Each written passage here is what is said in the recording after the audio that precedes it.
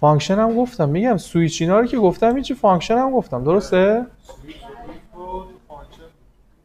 تو function if و اینا هم استفاده کردیم دیگه.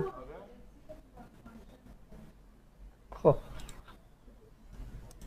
بریم سراغ کسی در function اینا سوال که نداره.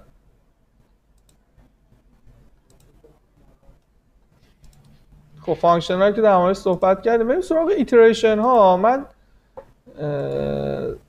بریم سراغ iteration ها صحبت بکنیم در مورد iteration ها.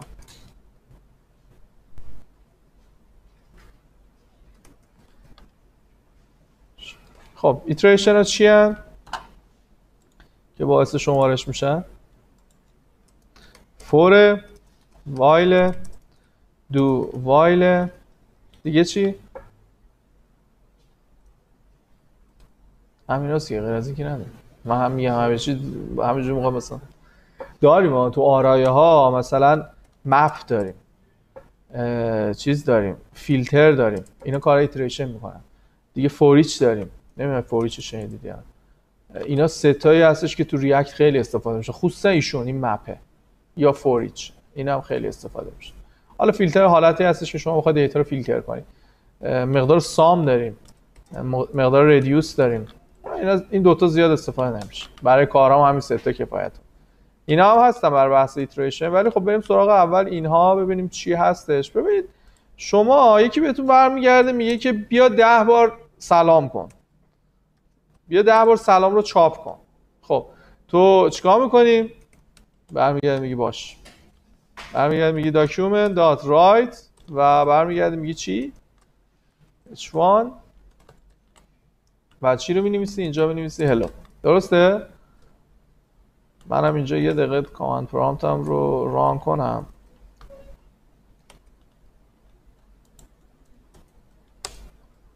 cd desktop. cd training خب الان چه اتفاقی میفته؟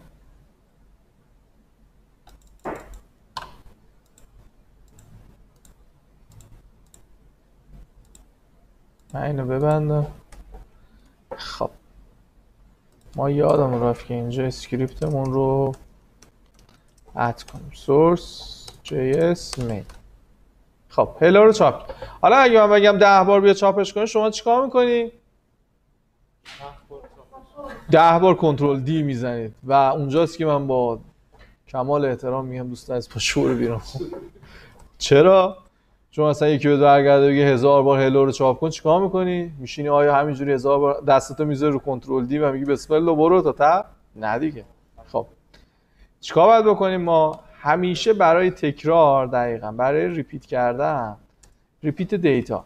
یعنی شما وقتی بخواید repeat داشته باشید توی data یا بخواید یه عمل تکراری تکرار بشه یه عملی از for و while و do while می‌تونه استفاده do while خیلی کمتر ولی خب for و while خیلی استفاده میشه. اونم بستگی داره به برنامه نویس معمولا یکی مثل من for خوشش میاد یکی دیگه می‌بینی while خوشش میاد. حالا هر کی که یه در واقع تصمیم می‌گیره برای پیاده سازی ولی شما در کل برای تکرار کردن یک مسیری از چی استفاده می‌کنی؟ از for و while قراره ازش یه مسیری یک سره تکرار میشه قراره ازش که یه data یی تو آرایه هستش خونده بشه. قراره ازش به data آرایه ضریبی اضافه بشه. هر آنچه چیزی که باعث میشه من بخوام یه کاری رو تکرار بکنم میام از چی استفاده می‌کنم؟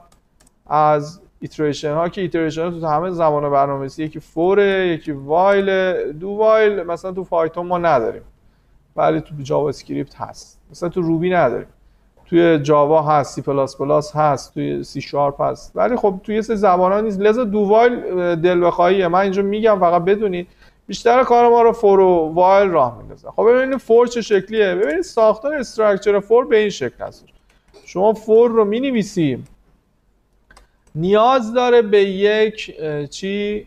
به یک متغیر. مثلا تو سی پلاس پلاس ما میذاشیم int i مساوی با صفر خب هر عدد یا عشقت هر عددی که کشید بزن اصلا اون که چیز نداره. حالا با هم صحبت می‌کنیم در موردش. اینجا میشه چی؟ let. let i مساوی با صفر semicolon چه اتفاقی میفته وقتی که در واقع مفسر می‌رسه به این قسمت for رو می‌بینه. خب میگه این می‌خواد آماده بشه برای اینکه یه کاری رو تکرار بکنه. اولین کاری که می‌کنه یه متغیر به نام i میاد توی رم درست می‌کنه semicolon. پس semicolon چه اتفاقی میفته تو زبان برنامه نویسی؟ خط کد تموم شده برو خط بعدی رو بخون. درسته؟ اینجا بحث condition هاست. بیشتر توی for میاد بعد از این مقدار چه اتفاقی میفته میاد بحث شرط ها یا شروط میاد قرار می‌گیره. خب مثل چی؟ مثلا من برگردم بگم i کوچکتر از ده بود. compare ها i بزرگتر از ده بود i مساوی ده بود i کوچیکتر مساوی ده بود. هر چی حالا هر چی خودت می‌دونی اون چیز نداره. ولی خب معمولا چون مقداری که اینجا هستش طبیعتا کسی نمیاد این شاهکار رو بکنه بگه صفر بزرگتر از ده. هیچ وقت چی نمیشه؟ true نمیشه. آره این قسمت true نمیشه. لذا true نشه. اینجا اگه brace باز بسته داشته باشید شما و کلی هم کد توش قرار داشته باشه چی میشه؟ ignore میشه. اصلا از روش میپره. چرا از روش میپره؟ آرش؟ به خاطر اینکه دوش خوبه می‌تونه بپره نه؟ دقیقا همین. به خاطر اینکه صفر بزرگتر از دهه.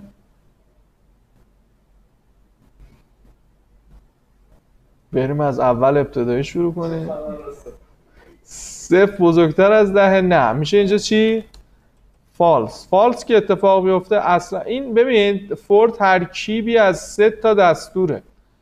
ترکیبی از سه تا دستور. یک اولین دستور initialize می‌کنه. دو یه if داره تو دل خودش. برید در موردش document ش بخونید متوجه میشین. اینجا میشه در واقع من میگم i کوچیکتر از مثلا ده.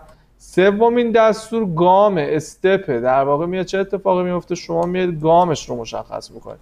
مثل plus plus که میذاشیم یادتونه گفتم بچه این i ه رو اگه plus plus بذارید اینجا چه اتفاقی میفته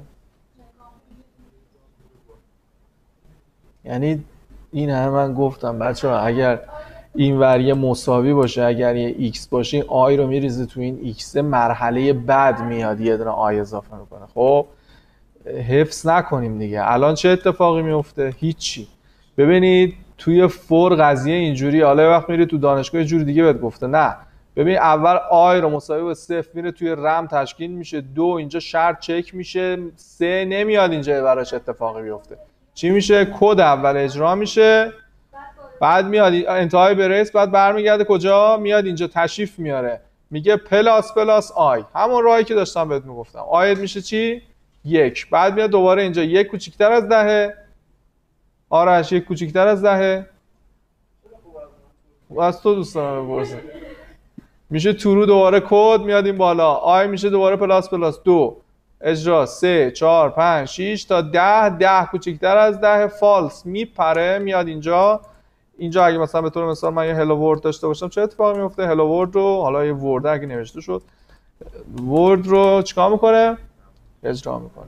پس حلقه for در واقع توی همه زبانهای برنامه‌نویسی به همین شکلی هستش داریم بهتون میگه. اولین کاری که می‌کنه میره مقدار رو initialize می‌کنه توی رم تشکیل میشه دومیش میاد شرط رو چک می‌کنه.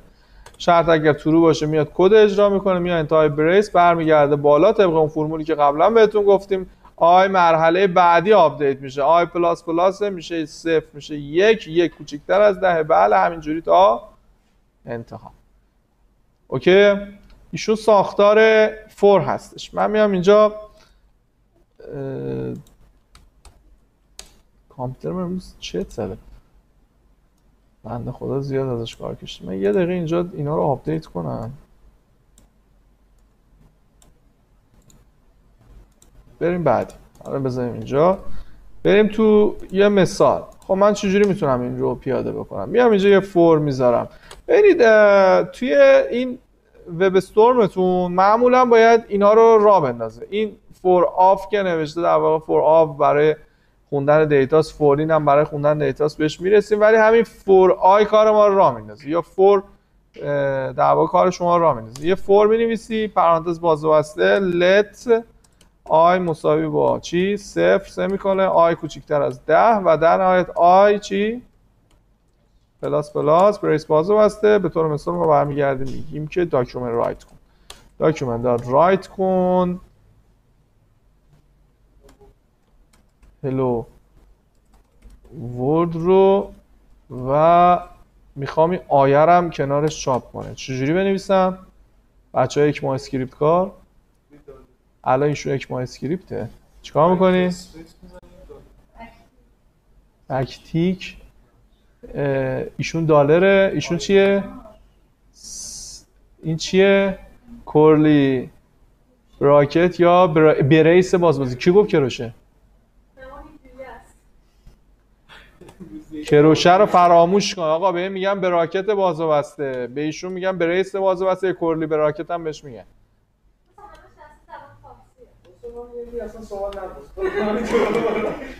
اینم آی رو می‌ذارید اینجا. الان چه اتفاقی میفته؟ این طرف. ببین قشنگ هلو رو برای چیکار کرده؟ نه بار اومده چاپ کرده. خب. وایسا وایسا وایسا یه اچوان بذارین. اونم میگم بهتون ها میاید اینجا الان می‌ذارید چیکار کرد؟ صفر تا نه رو براتون چاپ کرد. ده بار داره تکرار میشه ولی نکته که هسته چرا تا نه رفت؟ دوستان ریاضیدان؟ احسن چون از صفر شروع میشه. مرسی آرش. درود آره این دگاده خب نگاه کن. اگه می‌خواید از یک در واقع شروع بشه به این صورت. و ده رو هم اگر بخوایم بعد چی بذاریم؟ احسن. میاد این طرف و به این صورت پیاده میشه. خب اگر یکی برگرده بگه 100 تا با همین قدرت می‌ذاری یکی برگرده بگه هزار تا با همین قدرت می‌ذاری و برای چیکار می‌کنه؟ تا هزار می‌ذاره. قدرت for ه. حالا بعدا در مورد for و while و foreach اینا میام صحبت می‌کنیم. شما وقتی می‌خواید برید سمت زبان backend حالا چه از پایتون چه PHP ما باز اونجا for و while و foreach را داریم. بعد تصمیم بگیره از کدوم استفاده کنیم. خب پس من می‌تونم راحت بیام اینجا الان این ده رو این رو بکنم ده و به همین زیبایی سریع تغییر بکنه و این هم که plus plus ه خب شما گامتون رو ترجیح می‌دید که چی باشه؟ plus plus. درسته؟ من مثال خیلی می‌تونم از for حل کنم. می‌خوام در حد 4 5 تا حل بکنم بقیهش رو تمرین میدم بهتون خونه. ایشالله بهم پیام می‌دید براتون میفرستم. مثل قبلی ها که فرستادم. اینجا گامتون چند تا چند تا داره اضافه میشه؟ یکی. الان یکی برگرده بهت بگه بیا آیت رو دوتا دوتا ببر جلو. شما باید چجوری بنویسید به اضافه مساوی دو. این یعنی چی؟ آی به علاوه دو. هر جفتش درسته به علاوه مساوی دو. چه اتفاقی میفته؟ اعداد فرد رو میاد برای چاپ می‌کنه. حالا اگه این رو میذاشتی صفر اعداد چی رو برای چاپ میگه اعداد زوج. هیچ وقت با گام نیاد بازی کنید لذا ما گام رو هیچ وقت دستکاری نمی‌کنیم.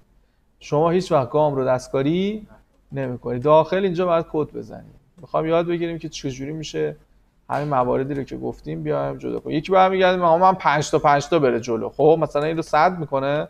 می‌خوام 5 تا 5 تا. آیه بله مساوی 5 چه اتفاقی میفته 5 تا 5 تا میره جلو.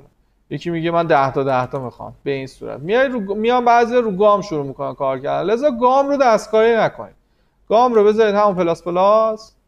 باشه. چیکار بکنیم؟ میاد تو این قسمت شروع می‌کنه کار کردن. خب می‌خوام شروع